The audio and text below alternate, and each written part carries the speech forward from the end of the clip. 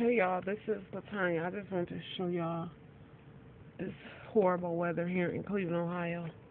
We have a snow advisory. Actually, I'm trying to see if I can zoom in so you can actually see the snow falling. Look at this. This is a, mess. And this is going down. This is the other side of my street. Look at this snow. That made no sense. You have to see my sister's car. Hold on, actually, I'm gonna go to the backyard. Alright, here go my stairs. Barely see them. This off my back porch, my deck. Look at this. Look on the top of my sister's car. You can see her um, mirror, but this is ridiculous. Look at my deck.